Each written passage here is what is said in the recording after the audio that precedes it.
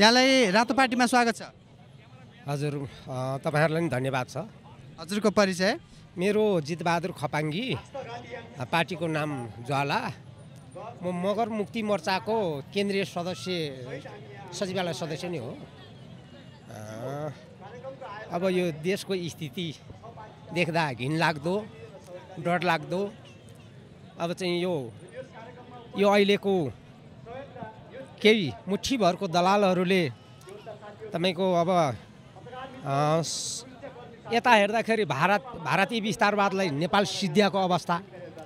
यता फेरि अर्कोतिर हेर्दाखेरि चाहिँ नि अब अमेरिकी एमसिसी पास गर्ने यिनीहरूको एकदम योजनाबद्ध ढङ्गले आज यो विरोधमा आउनुभएको छ होइन? यो एमसिसीको विरोध चाहिँ किन गर्नुभएको खास? यो एमसिसीको विरोध भने यसरी हो। अब यो एमसिसी पास गरिसकेपछि यो अमेरिकी सेना नेपालमा आउँछन्।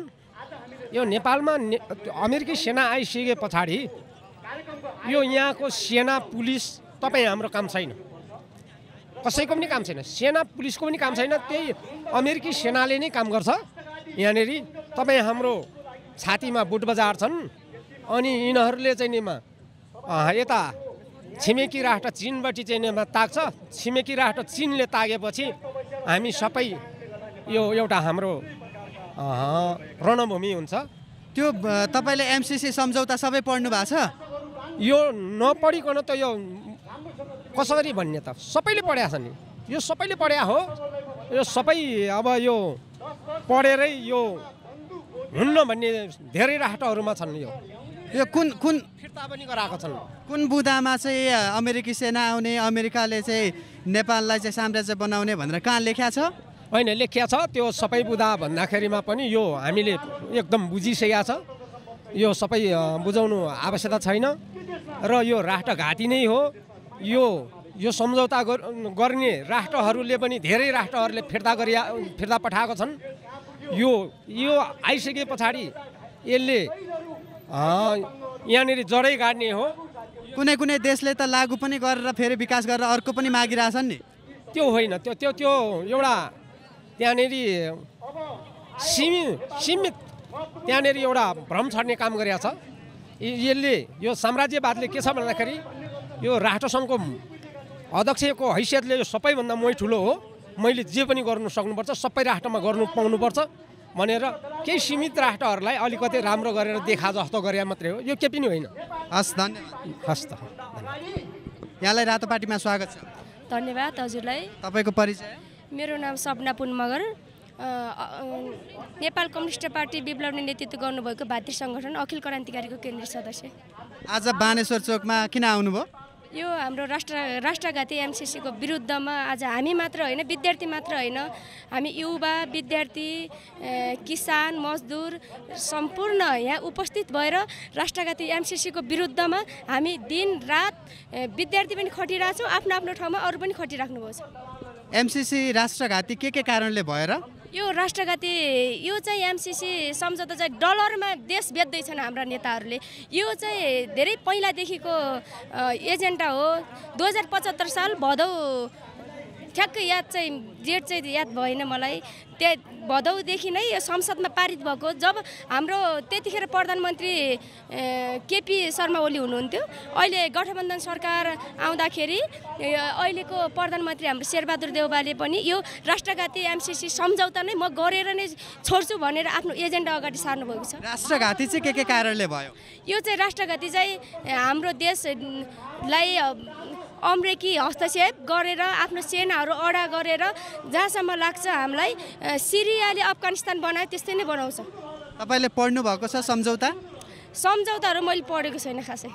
नपढिकन कसरी भन्न सक्नुहुन्छ यो राष्ट्रघाती छ भने के के बुदाहरू त हामीले पढ्न पढेका पनि छौँ र हामीले पढेर मात्र होइन नि त हामीले यो चर्चामै छ नि त यो राष्ट्रघाती सम्झौता। देश देश देशमा नेपालको कु जुनसुकै कुनामा पनि सब यो गठबन्धन सरकारले मात्रै होइन कि अहिले विरोध गरेको।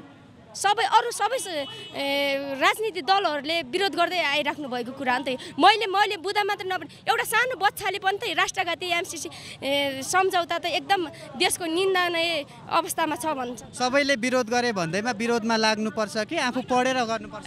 पढेर मात्र होइन पढ्ने पनि कुनै कुनै बुदाहरू पनि हामीले पढेका पनि छौँ बुझेका पनि छौँ। यो दे देशको लागि एकदम घाटा र एकदम यो आवश्यकता पनि छैन क्या। क्यान्सेलको त्यत्रो बहत्तर अरब त नेपालले उठाउनै छ नि त राज्यले। त्यो उठाएको छैन अनि तपाईँले यहाँनिर हाम्रो टेलिभिजनबाट हाम्रो रातो पार्टीबाट चाहिँ अरू पनि जनतालाई एमसिसीको विरोध गर्नुपर्छ भनेर चारवटा बुँदा भन्न सक्नुहुन्छ। यो एमसिसी हामीले गर्नु नै पर्छ किनभने चाहिँ यो हाम्रो देश र जनताको पक्षमा छैन। म भन्छु एक नम्बर होइन।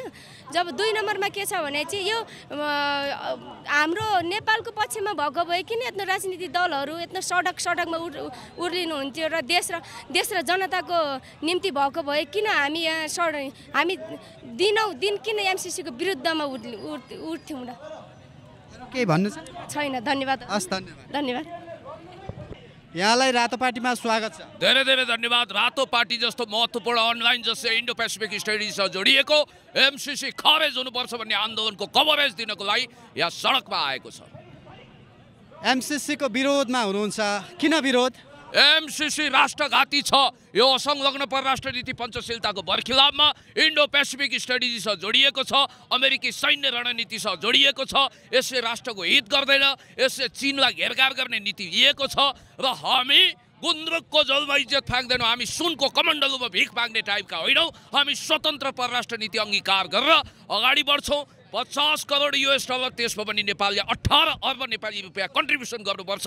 मडागास्करदेखि सुरु भएको मिलेनियम च्यालेन्ज कर्पोरेसनको ट्र्याक रेकर्ड आएन हिस्ट्री त्यति प्रिय छैन।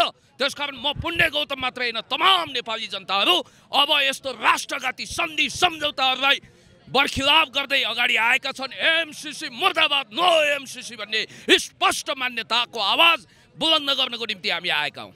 तपाईँले एमसिसीको तपाईँले एमसिसीको बारेमा ओरिजिनल दस्तावेज पढ्नु भएको छ? मैले ओरिजिनल दस्तावेज पढेको छु सम्पूर्ण दस्तावेज पढेको छु। सम्भवतः कतिपयलाई त लाग्दो हो यो मुन्द्रेको कमेडी क्लब हो। एमसिसी भने मुन्द्रेको कमेडी क्लब जस्तो लागेको होला। यो ठट्टा होइन मजाक होइन। विकास विरोधी कुरा गर्ने भनेर कतिपयले हामीलाई झाँसा दिइरहेका छन्। म उहाँहरूलाई भन्न चाहन्छु त्यसको एक एक डकुमेन्ट सर्वप्रथम दुई हजार छमा मेक्सिकोमा भएको ब्याङ्कहरूको ग्लोबल समिटमा तत्कालीन अमेरिकी राष्ट्रपति जुनियर बुसले मिलेनियम च्यालेन्ज कर्पोरेसन मार्फत अब हामी विश्वव्यापी रूपमा थर्ड वर्ल्ड कन्ट्रीमा लगानी गर्छौँ भन्ने उद्घोष गर्नुभएको थियो। मडादास्करमा सुरु भयो last time श्रीलङ्काका all time best legendary prime minister Mahendra राजापाक्षेले यो श्रीलङ्काको हितमा छैन। नो एमसिसी भनेर त्यसलाई थ्याङ्क्स भन्दै फिर्ता गर्नुभयो। हामीले पनि विनम्रतापूर्वक अथवा त्यतिले पुगेन भने कठोरतापूर्वक शेरबहादुर देउबाजीले धेरै जोर जबरजस्ती गर्नुभयो भने उहाँलाई रिटायरमेन्ट दिनु पनि जरुरी छ। र म यति कुरा भन्छु कि एमसिसी घातक छ। एमसिसी राष्ट्रिय हितमा छैन। एमसिसी कुनै सस्तो प्रोपोगान्डाको लागि हामीले खारेज होस् भनेको होइन।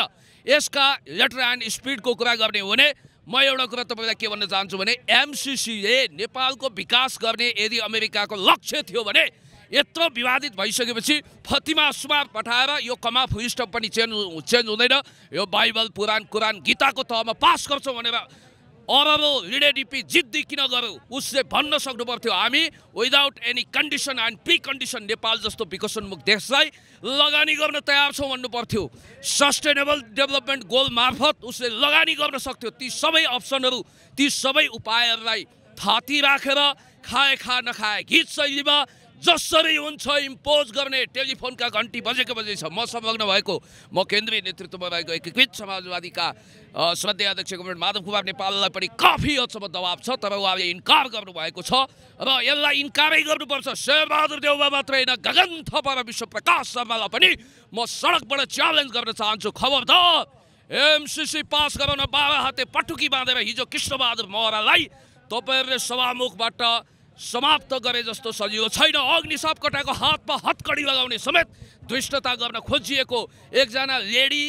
उनीवाला प्रधान न्यायाधीशको टेबलमा यो फाइल पुगेको र उनलाई धम्काइएको भन्ने कुरा पनि सुन्नमा आएको छ। म खबरदारी गर्न चाहन्छु। हामी रगत बगाउन तयार छौँ। हामी राष्ट्रिय स्वाधीनताको झन्डा झुकाउनेवाला छैनौँ। हामी एमसिसी जस्ताको तस्तै कुनै पनि हालतमा टेबल हुन र पास हुन दिँदैनौँ। कुन कुन बुदामा चाहिँ भनिएको छ? के के भनेको छ? एक्ज्याक्ट भनिदिनु न त होइन अब यसको पण्डित्याइ गरेर व्याख्या विश्लेषण भन्दा पनि समग्रमा यसका डकुमेन्टहरू यो लेटर एक्सचेन्ज जो भएको छ त्यसको लेटर एन्ड स्पिडको कुरा हेर्दाखेरि चाहिँ वास्तवमा जस्तो बौद्धिक सम्पत्ति माथि नेपालको अग्राधिकार नहुने नेपालको महालेखा परीक्षकको कार्य पङ्गु हुने त्यति मात्रै होइन। योजना छनौट हामीले गर्न नपाउने भारतीय योजना छनौट गरेर उसैको स्वीकृतिको टाँचा लाग्नुपर्ने र नेपालले कुनै पनि सेक्युरिटी कन्सर्नमा अमेरिकी सेक्युरिटी कन्सर्नमा हस्तक्षेप गर्न नपाउने नेपालको सुरक्षाकर्मीले हात बाँधेर बस्नुपर्ने र नेपालको सार्वम सत्ता सम्पन्न सरकारमाथि अमेरिकी कानुन लागू हुने हुनाले हामीले यसलाई नो एमसिसी भनेर खारेज गर्नुपर्छ भनेका हौँ। उसले जब यसलाई बाइबल कुरान पुराण गीताको तहमा व्याख्या गरेको छ कमा फुलिस्ट पनि चेन्ज हुनु हुँदैन भनेको छ भने हामीले एमसिसीको भारी सतीदेवी लास लिएर हिँड्नुपर्छ यो जरुरी छैन। हस् धन्यवाद। थ्याङ्क यू रातो पार्टी जस्तो महत्त्वपूर्ण मिडिया र अन्य मिडियाकर्मी साथीहरूलाई पनि धेरै धेरै धन्यवाद। थ्याङ्क यू यहाँलाई रातो पार्टीमा स्वागत छ। धन्यवाद। आज यो बानेश्वर चोकमा आउनुभएको छ। किन आउनुभयो? एमसिसीको विरुद्धको आन्दोलनमा सहभागी हुन आएको। हजुरको परिचय दिनु मेरो नाम बुद्धलक्ष्मी महर्जन वैज्ञानिक समाजवादी कम्युनिस्ट पार्टीको केन्द्रीय सदस्य। एमसिसीको विरोध किन गर्दै हुनुहुन्छ? यो राष्ट्रियघाती सम्झौता त्यसैले हामी सबैले विरोध गरिरहेका छौँ। राष्ट्रघाती के के कारणले भयो? यो सम्झौतामा लेखिएको छ एक त यो अमेरिकाको आर्थिक योजना अन्तर्गतको सम्झौता हो यो एमसिसी भनेको। अहिलेको हाम्रो सरकारले चाहिँ भन्नको लागि चाहिँ धाटिरहेको छ सबै कुरा बाहिर पनि आइसकेका छ। यो सम्झौताभित्र चाहिँ नि यो सम्झौता लागू भयो भने कुनै पनि हालतमा नेपालको संविधानसँग नेपालको कानुनसँग बाजिएको यो भित्रको नियमलाई चाहिँ नि नेपालको कानुनमा लागू नभइकन यो एमसिसी भित्रको सम्झौता चाहिँ लागू हुनेछ। यसले चाहिँ नेपालको कानुनभन्दा यो माथि हुनेछ भनेर त्यो एमसिसी सम्झौतामा लेखेका छ जस कारणले चाहिँ यो राष्ट्रघाती हो। तपाईँले सम्झौता पढ्नु भएको छ? पढेका छौँ विभिन्न मिडिया मार्फत चाहिँ हामीले हेरेका छौँ पढेका छौँ। हामीले हामी आफैले पनि त्यो सम्झौता अन्तर्गतले लिएर पत्रिका पर्चाहरू पनि छापेका छौँ। हामीले अस्ति अन्तर्क्रिया पनि गऱ्यौँ। त्यसमा चाहिँ विभिन्न यो सम्झौतासँग अध्ययनरत मान्छेहरूले चाहिँ त्यहाँ कुराहरू पनि राखिया छ। अहिले धेरै मिडियामा आइसकेको छ। यो जुन ढाँटिरहेछ नि यो ढाँटेको सबै कुरा पर्दाफास भइसकेको छ। तपाईँहरूसँग यस सम्झौताको ओरिजिनल छ? सम्झौता दस्तावेज हामीले पढ्यौँ अहिले छैन घरमा छ। कुन बुदामा कुन बुदामा भनिएको छ अमेरिकाले सेना ल्याउँछ अमेरिकी साम्राज्य नेपाल हुन्छ भनेर यसरी लेखिया छ? बुँदा भन्दा पनि मैले सर पढेको छु। यो चाहिँ नि धेरै विद्वानहरूले धेरै पढिसकेका छ। यो अलमल हुने विषय छैन। बरु तपाईँहरूले नि पढेर यो मिडिया मार्फत चाहिँ जे छ त्यो बाहिर ल्याए राम्रो हुन्छ। यो राष्ट्रियताको सम्बन्धी तपाईँहरूको पनि दायित्व पुरा हुन्छ। त्यो भयो भने। अ, राष्ट्रका दलहरू राजनीतिक दलहरू अनि त्यस पछाडि नेताहरूले चाहिँ आफूलाई स्ट्यान्डको स्टोन राख्नको लागि एउटा मुद्दा बनाएको भन्ने पनि छ चर्चा के भन्नुहुन्छ? होइन त्यो चाहिँ यस्तो हो। यो चाहिँ नि अब कतिपय नेताहरूको आफ्नो चालबाजी होला अब कतिपय नेताहरूले चाहिँ यसलाई चाहिँ युज गर्न पनि खोजिया छ होला। तर चाहिँ नि अ, राष्ट्रिय प्रेमी देश घा देशघातीको चाहिँ जो विरोध गरिरहेछ लामो समयदेखि यो आन्दोलनमा हामी जति पनि आएका छौँ म लगायत हाम्रो ग्रुप हाम्रो पार्टीको नेता कार्यकर्ताहरू लामो समयदेखि हामीले त्यति धेरै हामीले अध्ययन नगरेको बखत महाकाली सन्धिदेखि नै हामी चाहिँ राष्ट्रिय घाटको विरुद्धमा चाहिँ आन्दोलनमै छौँ। त्यसकारण चाहिँ हामी जानेर बुझेर राष्ट्रियता सम्बन्धी हरेक राष्ट्रिय घाट सम्बन्धीको विरुद्धको मुद्दाहरूमा चाहिँ हामी लडि नै रहेका छौँ। हामी जानेरै आइरहेका छौँ। हामी अरूलाई पनि सचेत नै बनाइरहेका छौँ। यो मामलामा चाहिँ। हस् धन्यवाद। तपाईँलाई पनि धन्यवाद। यहाँलाई रातो पार्टीमा स्वागत छ। नमस्कार हजुर। यहाँको परिचय सर? म रामदेव पाण्डे। म पत्र पत्रकार महासङ्घको सदस्य हुँ। राष्ट्रिय जनमोर्चाको समर्थक हुँ। तपाईँ एउटा जर्नलिस्ट पनि हुनुहुन्छ। पत्रकार पनि हुनुहुन्छ। एमसिसीको विरोधमा आज यहाँ बानेश्वरमा आउनुभएको छ। एमसिसीको विरोध किन? किनभने एमसिसी नेपालको हितमा छैन। नेपालको राष्ट्रियता राष्ट्रघाती चाहिँ कार्यक्रम हो एमसिसी भनेको। अमेरिकी साम्राज्यवादले आफ्नो साम्राज्य फैलाउन र चिनसँग टक्कर लिनलाई एउटा स्टेसन मात्रै खोजेको हो। यसबाट नेपाललाई कुनै पनि फाइदा छैन। नजिकको एउटा सानो देश श्रीलङ्काले फिर्ता गरिसक्यो भने हामीले किन लिने यसलाई? यो चाहिँ हाम्रो हितमा छैन राष्ट्रिय हितमा छैन। त्यसैले राष्ट्रघाती कार्यक्रम हो यसको विरोधमा हामी लाग्छौँ र निरन्तर जबसम्म यो लागू भइहाल्यो भने पनि त्यसको विरुद्ध हामी फेरि पनि लागिरहनेछौँ। चिनको विरोध चिनबाट आएको प्रोजेक्ट बिआरआई पनि छ त्यसमा त जनता विरोध गर्दैनन् नि? होइन चिन भनेको हाम्रो छिमेकी राष्ट्र हो। चिनबाट भारतबाट आउने कुरा भन्दा अमेरिकाबाट आएर उसले जहाँ जहाँ इराकमा इराकमा हमला गर्दाखेरि चाहिँ जसरी कतारमा उसले बद चाहिँ स्टेसन राखेर बदमासी गरो अहिले रुसको चाहिँ पाइपलाइनसम्म काट्ने भनेर अमानवीय कुराहरू गर्दैछ भने उसले आजसम्म कतै पनि कुनै पनि सानोतिनो देशहरूको लागि चाहिँ राम्रो गरेको छैन। र यस उसले विश्वशक्ति बन्दै गरेको चिनलाई एउटा बिचमा कन्ट्रोलमा राख्नको लागि यो कार्यक्रम ल्याएको र नेपालमा जबरजस्ती दिँदैछ यसले।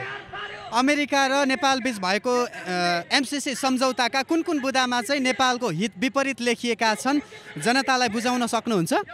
होइन त्यो चाहिँ अध्ययनमा बिस्तारै अब विस्तारित रूपमै भन्नुपर्छ वास्तवमा भन्नुपर्दाखेरि तर उस त्यसभित्रका जुन नेपालमा सैनिक अखडा राख्नेदेखि लिएर उसले जति पैसा दिने भनेको छ नि त्यसको चालिस चालिस पर्सेन्ट मात्रै यहाँ नेपालमा आउँछ बाँकी सबै साठी पर्सेन्ट फर्केर जाने प्रावधान भएको हुँदा हाम्रा विज्ञहरूले हाम्रो पार्टीहरूका विज्ञहरूले त्यसलाई अध्ययन गर्नुभएको छ।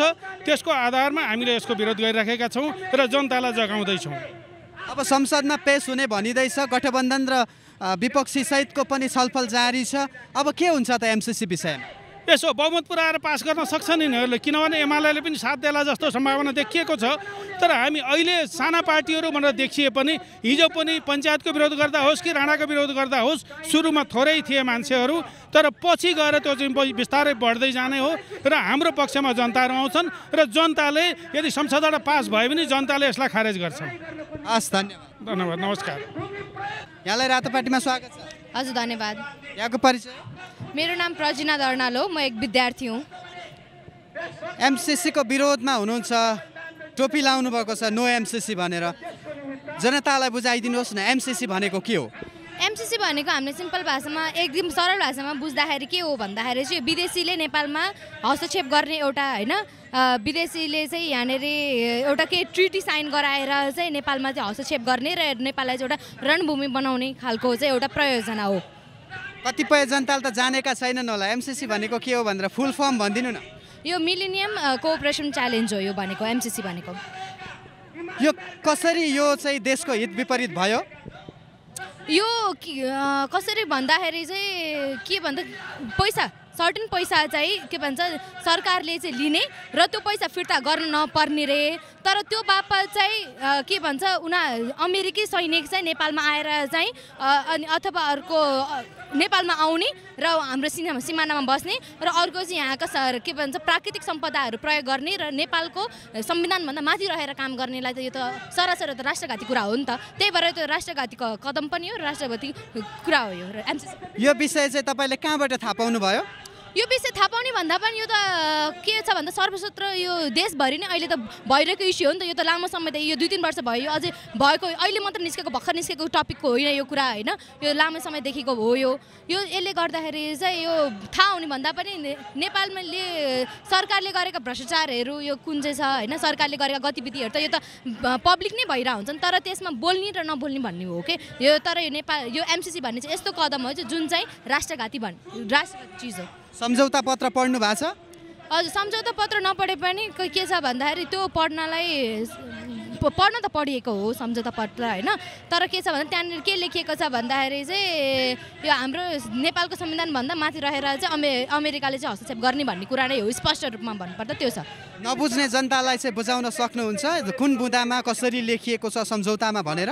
त्यो अवश्य पनि छ किन भन्दाखेरि यदि हामी यो अन्तर्क्रिया कार्यक्रम पनि गरौँला होइन? जनतालाई यो बुझाउन तर यो यो एउटा कुरा चाहिँ के हो भन्दा जनताले यो पढे पनि नपढे पनि एउटा कुरा चाहिँ बुझेका छन् कि रा एमसिसी भन्ने चाहिँ यो राष्ट्रघाती कुरा हो भन्ने चाहिँ यति चाहिँ उहाँहरू सबैलाई थाहा भएकै कुरा हो। यो पढ्नु र नपढ्नु भन्दा नि यो सबै आम जनतालाई थाहा कुरा थाहा भएको कुरा हो यो।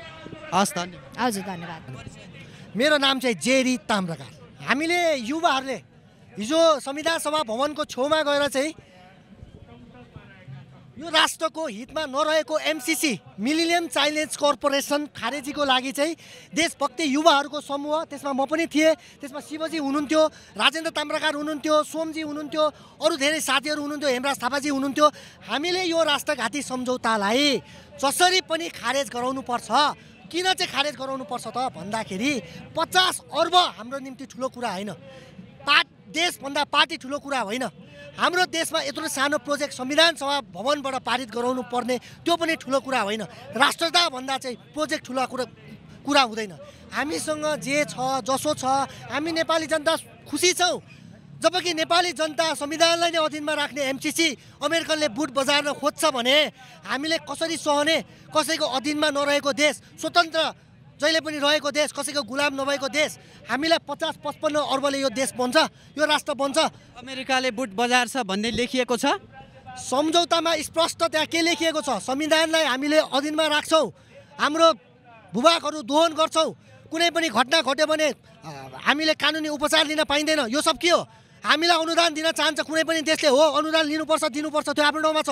तर अनुदानको विषयमा चाहिँ सम्झौता डरलाग्दो सम्झौताहरू ल्याएर हाम्रा युरेनियमका पाहाडहरू हाम्रा काइनेटका ढुङ्गाहरू हामीमा भएका स्रोत साधनहरूको दोहन गर्न खोज्छ भने के हामी हेरेर बस्छौँ नेपाली जनता? को यो शेरबहादुर देवबाजी हाम्रो प्रधानमन्त्रीले अहमता देखाउँछ भने के लिबियामा चाहिँ अहमता देखाएको त्यो गद्दाफीको के हालत बनाइदिएको थियो? यहाँ कसैले पनि अहमता देखाउनु पर्ने कसैको पनि यहाँ कारण छैन। नेपाली जनताभन्दा ठुलो नेपाली जनताभन्दा शक्तिशाली नेपाली जनता नै सिंह हो भन्न चाहन्छु। कुनै पनि सरकार सरकारी कर्मचारीले कुनै पनि जनताको हित विपरीत जनताको चाहना विपरीत उहाँहरूलाई चाहिँ पास गरेर एमसिसीलाई जबरजस्ती पास गर्न खोज्छ भने के यो प्रधानमन्त्री हाम्रो प्रधानमन्त्री हो? शेरबहादुर देवाजी के हाम्रो प्रधानमन्त्री हो? पुष्पकमल दालजी के हाम्रो प्रधानमन्त्री हो? केपी शर्मा ओलीजी के हाम्रो प्रधानमन्त्री हो? जसलाई चाहिँ हामीले कर दिनु जसलाई हामीले भोट दिनु जसलाई चाहिँ हामीले चाहिँ सत्ता र सुरक्षा दिएर आएको व्यक्तिहरूले चाहिँ यो देशलाई लुटेर यो देशलाई बेचेर खान खोज्छ भने के हामी के ठुलो ठुलो हेरेर बस्छौँ? यो हातले भोलि गएर हतियार पनि उठाउन सक्छ। म भन्न चाहन्छु नेपाली जनताले यो राष्ट्र बचाउनको निम्ति हामीले पनि हतियार उठाउनु पर्ने बाध्यता आयो भने हामी हतियार उठाउनुपर्छ यो राष्ट्रभन्दा ठुलो मलाई केही पनि लाग्दैन। यो राष्ट्रको निम्ति म अहिले पनि मर्न तयार छु। युद्ध लड्न तयार छु। तपाईँलाई के लाग्छ? पहिला दस वर्ष जनयुद्ध भएको थियो। अहिले चाहिँ युद्ध भइरहेको छैन। यो त्यो त्यो युद्ध हामीले लड्दैछौँ। पहिला हतियार र बमको युद्ध लड्थ्यो भने अहिले विचारको युद्ध हामी लड्दैछौँ। हामीले मेन पावरमा गएर दुनियाँ दलालहरूसँग लडिरहेको छौँ। दुनियाँ मान्छेको उद्धार गरिरहेको छौँ। सरिता गिरी इन्डियासँग सोध्नुपर्छ भन्दा गएर गेटमा उडेर हामीले लात उडाइदिएको छौँ। हामीले उप प्रधानमन्त्री राजेन्द्र महतोको घरमा गएर टार बालेको छौँ। कसैले पनि राष्ट्र विपरीत विदेशी दलाल विदेशीको नुन खाएर कुरा गर्छ हाम्रो देशमा भने नि सांसद प्रधानमन्त्री हामीले गन्दैनौँ। हामी गन्छौँ मन्त्री आलेलाई श्रम मन्त्री किसान श्रेष्ठजीलाई। एउटा विकास विकास परियोजना मात्रै भन्छ नि त नेताहरू। यो विकास परियोजना होइन आफ्नो पार्टीको चाहिँ परियोजना हो क्या? तपाईँले बुझ्नु भएन राजनीतिक? सत्र हजार मान्छेको बलिदान गयो। दस वर्षसम्म यो देशमा जनयुद्ध भयो। के भयो नेपाली जनताले? सुन्तला। के भयो? अङ्गुर। नेपाली जनताले आश्वासनको पोको पायो। यत्रो यत्रो पोको लिएर गएको छ घरमा। नेपाली जनताको रगतको खोला बगेको छ यहाँ। प्रचण्डले यसको जवाब दिन जरुरी छ। बाबुराम भट्टराईले यसको जवाब दिन जरुरी छ। के हामी नेपाली जनतालाई हतियार उठाउन आउँदैन? हामीलाई चाहिँ बम फोड्न आउँदैन नेपाली जनतालाई। हामी अहिले विचारको युद्धमा छौँ। हामी अहिले यो देशलाई बनाउने युद्धमा छौँ। यो देशमा चाहिँ रोजगार सिर्जना गराउने युद्धमा छौँ। कसैले पनि के यो शेरबहादुर देवबाजी पाँचपल्ट प्रधानमन्त्री हुनुभयो? के परिवर्तन गर्नुभयो? केपी शर्मा ओलीजीले काँसपास कपासको व्यवस्था गरिदिए पुष्पकमल दालजीले दस वर्षदेखि जनयुद्धको माग के थियो? यो देशमा रोजगारी यो देश यो देशमा शान्ति यो देशको चाहिँ समृद्ध यो देशमा चाहिँ विकास भनेर गरेका थिएन। आज भयो त विकास आज भयो त सबै कुरा विकास भयो। अहिले पनि साठी सत्तरी लाख नेपालीहरू साउदीमा विदेशमा जानु परिरहेको छ। त्यो त्यो भएको कारणले हामी भिजन भएको नेता चाहन्छौँ। हामी नेपाली जनताको हितमा काम गर्ने नेता चाहन्छौँ।